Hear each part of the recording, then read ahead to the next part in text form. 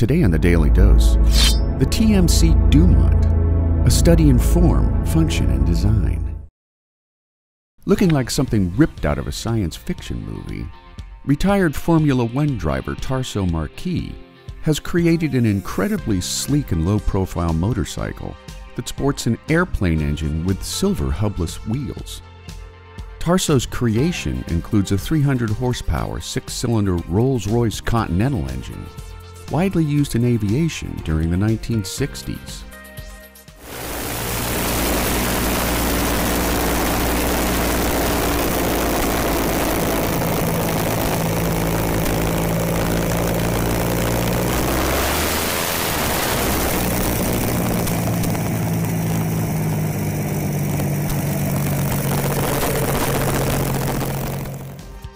While the engine draws the immediate attention of motorcycle enthusiasts, the wheels catch the attention of anyone who sees this most inventful of machines.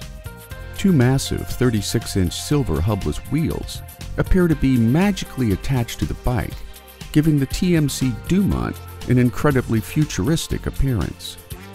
Adding to the outstanding performance of this machine of tomorrow is the bike's continuously variable transmission, or CVT, a transmission designed, developed, and manufactured uniquely for the Dumont.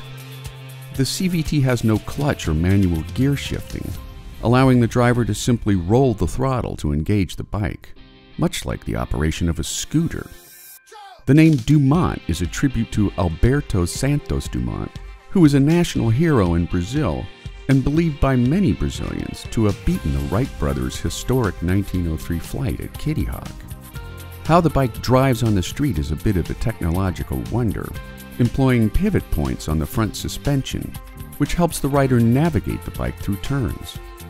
While Tarso had conceived and continuously refined the Dumont for the preceding 15 years, the TMC Dumont made its debut at Daytona Bike Week 2018, where the futuristic machine won Best in Show over hundreds of competing motorcycles. And there you have it. Form, function, and design marry up in the TMC Dumont. Today in the Daily Dose. If you like learning something new every day, subscribe to the Daily Dose on YouTube or sign up for emails at dailydosenow.com.